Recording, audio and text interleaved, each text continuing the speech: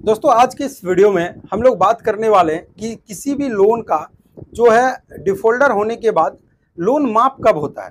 देखिए, कई ऐसे हमारे जो सब्सक्राइबर हैं वो हमें कमेंट कर कर लगातार इस बात को पूछ रहे हैं कि सर कोई ऐसा प्रोसीजर नहीं है जिसके कारण से लोन माफ़ होगा?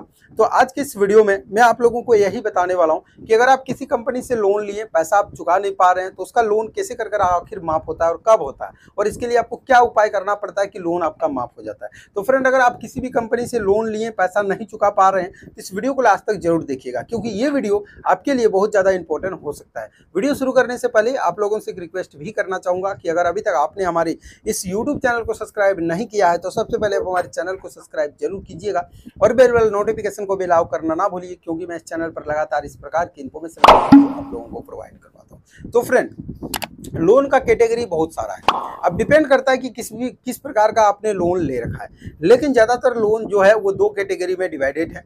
पहला लोन है आपका सिक्वल और दूसरा है अनसिक्वल तो जितने भी सिक्वल लोन है, वो बैंक या तो किसी फाइनेंस कंपनी प्रोवाइड करवाता है। जहाँ पे आपको कुछ ना कुछ वहाँ पे गारंटेड के तौर पर देना होता है।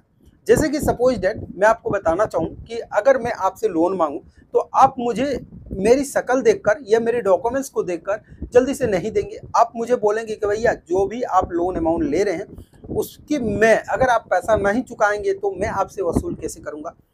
इस प्रकार का कंडीशन रखते हैं बैंक जैसे कि अगर आप बैंक चले जाएँगे और बोलेंगे, भैया, मुझे दो लाख का लोन चाहिए। तो बैंक वाले आपको बोलेंगे कि दो लाख का लोन सर मैं आपको देने के लिए तैयार हूँ। बट सबसे पहले दिखाइए, आपके पास प्रॉपर्टी क्या है? आप किस लिए लोन लेना चाहते हैं और लोन लिया गया पैसा को आप क्या करेंगे?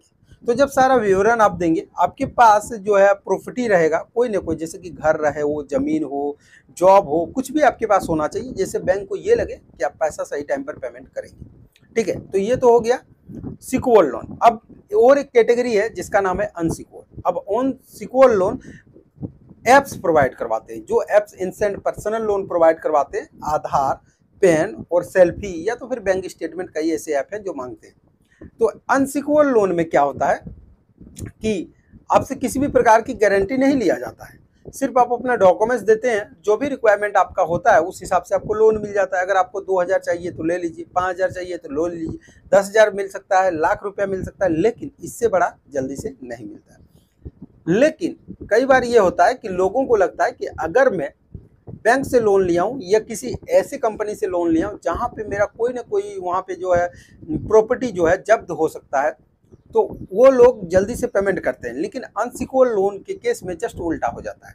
क्योंकि यहाँ पे जो लोन अमाउंट लिया है, वो एक छोटा लोन अमाउंट होता है दो हज़ार, पाँच हज़ार, दस हज़ार। अब यहाँ पे समझने वाला बात ये होगा कि अगर किसी के पास पैसा होगा तो वो दो, पाँच, दस हज़ार का लोन लेगा नहीं। अगर ज़ाहिर सी बात है कि उसके पास पैसे की कमी था, इसीलिए उन्होंने लोन लिया और पैसा वो टाइम पर पेमेंट नहीं कर पा रहा है और कंपनी उनको परेशान कर रहा है। ऐसे कंडीशन में उनके मन में ये सवाल ज़रूर आता है कि लोन आखिरकार माफ़ हो जाएगा, मैं पैसा नहीं चुकाऊँगा। तो देखिए अनसिक्वल लोन जो होता है, उसको अगर आप सही टाइम पर पेमेंट नहीं करते तो नुकसान बहुत सारे हैं। नुकसान जो होगा, वो पहला तो ये है कि जब भी आप किसी अनसिक्योर लोन ऐप से लोन लेते हैं। वो इंसेंट लोन कंपनी होता है, जो एनबीएफसी द्वारा रजिस्टर होता है। और ये एनबीएफसी को जो लाइसेंस प्रोवाइड करवाता है, उसका नाम है आरबीआई जो कि प्रत्येक वित्तीय वित्तीय जितने भी शाखाएँ हैं, सभी का हेड होते हैं।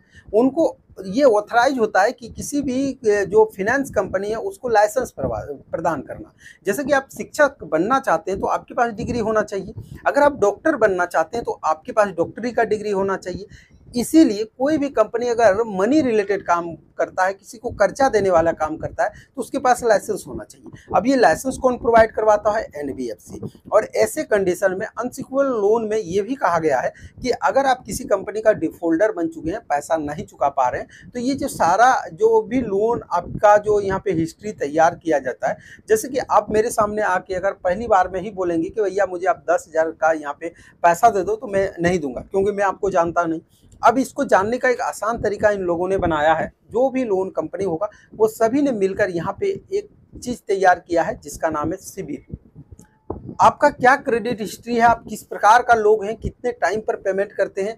कितना देरी में आपका पेमेंट आता है? ये सारा कौन क्लियर करता है? ये करता है सिविल स्कोर। और जितने भी लोन ऐप्स है, सभी सिविल को रिपोर्ट करता है। जैसे कि ए बी सी तीन कंपनी है। आपने एक कंपनी से लोन लिया ए कंपनी से। अब अब कभी आपने फिर बी कंपनी से लोन लिया?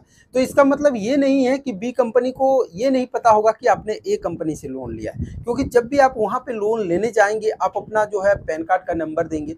और जब वहाँ पे पैन कार्ड का नंबर देंगे तो ये सारा जो डाटा है किसके पास है? सिविल वालों के पास है। और सिविल वो सारे लोन ऐप्स को एक ही साथ में मर्ज करके रखता है। उनका पूरा जो मतलब डाटा होता है, वो कनेक्ट होकर रहता है। तो उन लोगों को तुरंत पता हो जाता है। चलिए, ये सब जानकारी आपको ज़रूर पसंद आया होगा, लेकिन मैं आप लोगों को बताऊँ कि किस कंडीशन में लोन माफ़ होता है।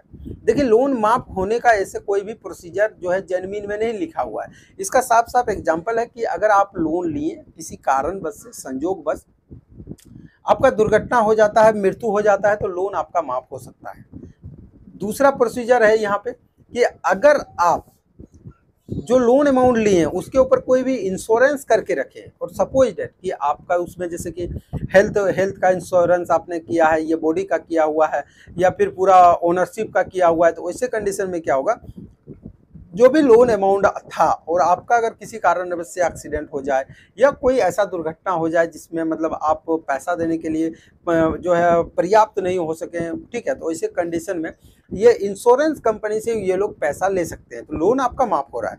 लेकिन मिला जुला के बात यह है कि अगर आप ठीक ठाक हैं आपका मतलब ठीक है तो आपका यहाँ पे सिविल का नुकसान होगा, आपको कॉल किया जाएगा। और साथ में लोन माफ़ जो ये बात हो रहा है, ये जल्दी से होता नहीं है। आपका सिविल खराब होगा, ये तो लिख के रखिए, इससे बेनिफिट आपको नहीं होगा, लेकिन नुकसान ज़रूर होगा। भविष्य में जब भी आप लोन के लिए अप्लाई करेंगे तो ए बी सी जो कंपनी मैंने प्रोसीजर बताया, वो आपके साथ होने वाला है। इस वीडियो के अंदर जो भी इन्फॉर्मेशन मैंने आप लोगों को प्रोवाइड करवाया इन्फॉर्मेशन अगर पसंद आए तो वीडियो को लाइक शेयर कॉमेंट ज़रूर कीजिएगा। इस वीडियो रिलेटेड कोई भी सवाल अगर आपके मन में रह गया हो तो आप हमें कॉमेंट कर ज़रूर पूछिएगा। तो चलिए फ्रेंड मिलते हैं किसी अगले